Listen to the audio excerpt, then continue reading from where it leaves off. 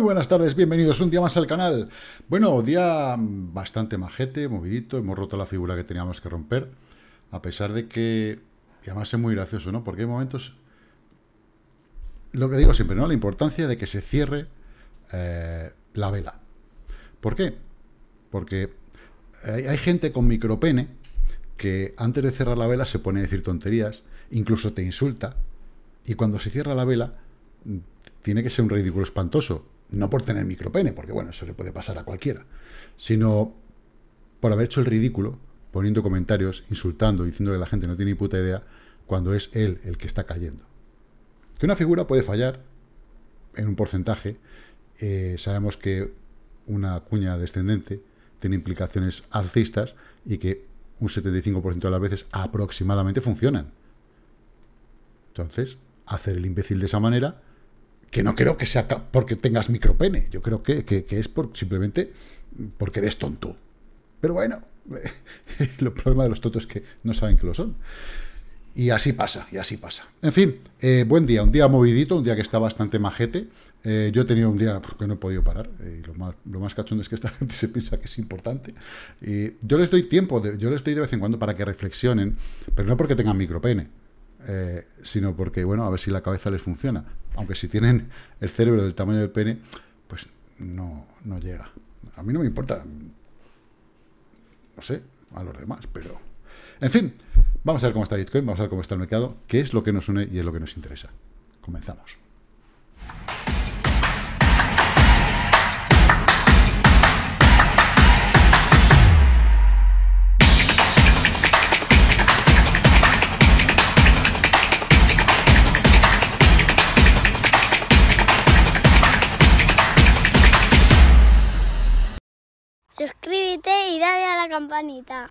Bueno, pues empezamos por el SP500 porque ha tenido ese bajoncillo, pero oye, parece que la línea la quiere respetar. Parece. Ya veremos a ver eh, cómo continúa, cómo cierra. Primero, cómo cierra, que es lo importante, ¿vale? lo que he dicho antes, la importancia, el cierre de las velas y cómo puede continuar adelante. Bueno, respecto al análisis de la mañana. Por la mañana, que muchos os lo perdéis, y yo creo que es interesante, ¿qué he dicho en el análisis? Pues he dicho una cosa muy sencilla. ¿Qué necesitamos? Que el precio rompiera esta línea, plaf, y que el RSI, que posiblemente nos iba a confirmar, un movimiento con un punch al alza. Y así ha sido, según lo ha hecho, plaf, ha salido eh, disparado. Evidentemente, eh, puede ser un trade que hayas cogido desde antes, si te has arriesgado, o que hayas cogido pues, a, en la última hora de esta vela, ¿vale? Yo antes no lo hubiera cogido porque creo que hay que confirmar. Entonces, bueno, da igual, si lo has cogido después, pues mm, llevamos ahí un, un 1,5% que para esas operaciones que hacemos son muy ricas. Y sean esas o sean otras, o has comprado aquí abajo, como ya hicimos nosotros, ¿vale? Como dijimos, Roseline, compra. Bueno, pues desde la Roseline, a lo tonto, a lo tonto, sin tener ni puta idea, llevamos un 3,79. Imaginaros si supiéramos hacerlo. Felipas. En fin, bueno, esto es lo que tenemos, ¿vale? ¿Qué ha pasado aquí? ¿Y por qué se ha cumplido además esto? Porque nos lo confirma con esta cuña que teníamos descendente, que de momento vamos a esperar el cierre del día, ¿vale? Que es, la más importante. La vela de cuatro horas ya nos está confirmando por fuera que eh, cierra, que, que, la rompe, ¿vale? Entonces podemos tener pullback a la resistencia horizontal, 29.500, podemos ir al alza. Fijaros cómo está el RSI. Si vamos a una hora, está desatado, ya tenemos aquí un par de dientes de sierra. Puede seguir, por supuesto. Mm, de momento, lo importante, ¿veis? Es pasar cierres por encima de estos. ¿Para qué? Para intentar hacer una banderita, que en un momento dado se puede volver a apoyar en esa zona, entre los 24,650, ¿vale? Este pico y este pico que hay aquí, con este apoyo, ¿vale? Pam, pam, pam, y los 29 kini. Hay 150 dólares en los que se puede apoyar y no pasaría absolutamente nada y podría seguir al alza. ¿Puede hacer pullback a la línea de tendencia? Puede hacer pullback a la línea de tendencia, ya lo veremos. Vela importante, la de diario, ¿vale? Que nos tiene que confirmar un cierre por fuera esa línea de tendencia. Y mañana, que es una vela roja, pues que no cierre nunca por debajo de los 29.500, ¿vale? A ver si, mañana tenemos una una vela pullback. Eh, puede ser con mecha más larga, más corta, da igual, esto no es importante. También puede ser una mecha paralela que abrace esta anterior. Igual que pasó aquí, ¿veis? Una vela que abrace esta y nos vayamos abajo. Podría ser perfectamente. Pero en principio... Eh, ¿Qué ha pasado? Y es lo que tenemos que leer. Teníamos un volumen bajito, el de ayer, bueno, no es que fuese una maravilla, pero tampoco estuvo mal, y el de hoy está superando al de ayer y estamos subiendo. Esto es la clave. Volumen verde, que supera al volumen del día anterior. Ahora quedan 5 horas para cerrar. Por eso, piano, paciencia y vamos a ir viendo cómo seguimos evolucionando, que es lo importante. Lo importante es que está divertido, que se está moviendo y que lo que buscamos es que se mueva para donde quiera, pero que se mueva. En fin, eh, por otra parte, Ethereum ha recuperado la línea de tendencia. Esta línea de tendencia que decíamos, oye, de, bastante largo plazo, eh, considerando que viene desde noviembre del 22, pues yo creo que es una línea bastante importante. No es tan importante a lo mejor como esta otra que tengo en Bitcoin por aquí. ¿Dónde la tengo? Mm, a ver, a ver, vamos a ponernos en semanal. No la tengo. Ah, no la tengo dibujada aquí. Bueno, pues eh, os lo digo, vamos, es simplemente una línea de tendencia que viene de aquí pasa por los cuerpos del COVID, justo, y bueno, pues esta línea de largo plazo, ¿vale? Esta es súper importante, esta es la más importante de todas ahora mismo. Diciembre del 18, marzo del 20, noviembre 22, enero 23, ¿y cuándo la volveremos a tocar? Pues de momento para mí ese es el soporte. Por eso también la zona de 21 me gusta, ¿vale? Este pivote que hay aquí, es donde se cruzan. Bueno, de momento, para mí, el soporte está ahí. Todo lo que vayamos ganándole, puede haber alguna mecha por fuera en un momento dado, un super susto, un micro susto, un cripto susto, ya veremos a ver. ¿Vale? Bueno, pues ahí... Eh, Regice dice, nada, nada, yo ya no confío nada en las criptos, son una ruina. No, no, no, no, no, eh, no, ¿qué va? las criptos no son una ruina, la ruina somos nosotros, cuando no sabemos lo que hacemos, y esto pasa. Eh, hay que tener mucha paciencia, eh, pues si no te gustan las criptos, pues, pues, hay muchos mercados. No tienes por qué invertir en criptos, ni siquiera tienes por qué invertir. O sea, esto es así.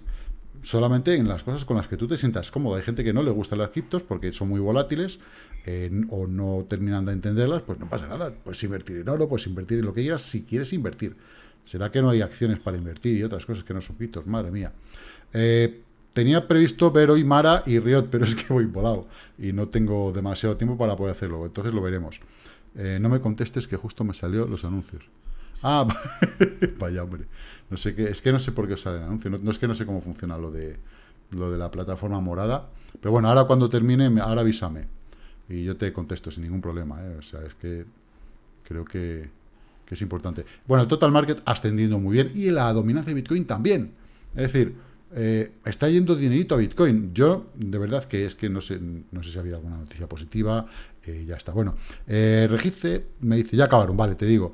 Eh, no tienes por qué estar en cripto. Si no te gusta el mercado cripto, da igual.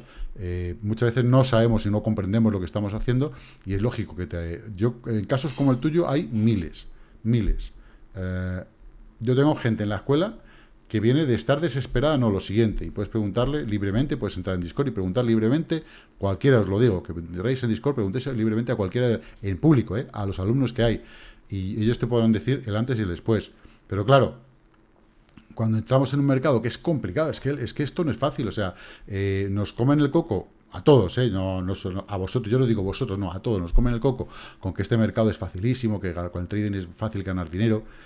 Y puede ser fácil o muy complicado. Normalmente suele ser complicado, o sea, no es, no es, algo sencillo, pero con una serie de pautas a mí me resulta muy fácil. ¿Vale? A mí me resulta muy fácil. Espero que cada día a más os resulte fácil. Lo que hay que tener paciencia, hay que tener templanza y, a ver, criptos. Yo cuando digo criptos digo Bitcoin, digo Ethereum, digo cuatro cosas. No hablo de... Las altcoins son trades muy de oportunidad, ya lo sabéis. Yo no, a mí no, no me gustan demasiado, pero bueno, las utilizo, las utilizo muy provecho. Y ya está. Entonces tú eh, inviertes, si quieres invertir o te quieres mover, me da igual en este mercado o en cualquier otro, en el mercado en el que te sientas cómodo, en la temporalidad en la que te sientas cómodo. No tienes por qué hacer futuros, no tienes por qué hacer y, tener riesgos innecesarios. Ve con mucha paciencia, muy poco a poco. No son una ruina. La ruina somos nosotros, de verdad. O sea, eso es lo que me dice la experiencia. Yo solamente llevo desde los años 90 haciendo trading, o sea que algo sé, poco, pero algo sé. Y la ruina realmente somos nosotros y muchas veces hay manipulaciones del mercado, esto es cierto, pero si echamos bombas fuera, balones fuera, siempre a las cosas que nos pasan, ¿vale? Entonces, da igual, ten mucha paciencia y si ya te digo, si no es en este mercado y es en otro, no pasa nada, es que no tienes por qué estar en cripto.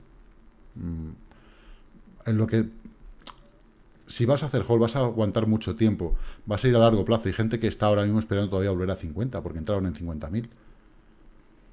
entraron en un punto del ciclo bastante malo. Yo ya avisé tiempo antes que nos íbamos para abajo, pero mm, no lo sé, es que la situación de cada uno es tan particular. Lo único que te puedo decir, que tengas eso, eh, paciencia, mucha templanza a la hora de elegir un valor y mucho conocimiento. Antes de empezar a invertir, mucho conocimiento del mercado en el que estás. Bien, terminamos. Bueno, Ripple está intentando, veis, el TP1 no ha cerrado por fuera. Fijaros que ayer parecía que iba por fuera, esta mañana también amenazaba y de repente rebota, pues con lo que con lo que estamos rebotando. Sea, ya te digo, si ha habido alguna noticia, no lo sé, porque llevo todo el día, llevo un día de locos tremendo y ahora me toca seguir, tengo que coger unos talados, ir a casa de mi la pequeña y, ayudarla ahí, pues, para lo que estamos, para lo que hemos quedado, para lo que hemos quedado. Entonces ahí estamos a, tope. Eh, bueno, las altcoins, importante. Eh, un día con algunos beneficios. En la parte negativa tenemos Hike, LPT, Nord, CTRS, Kratos.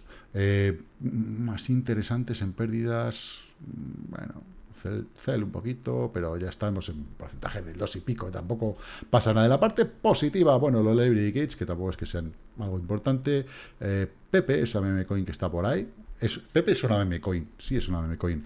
Y sobre todo, eh, una cosa importante para los que hablan mucho de meme coins, de tal y cual, si nos vamos al Coin Market Cap, eh, fijaros lo que se está convirtiendo. Dogecoin está en el número 7.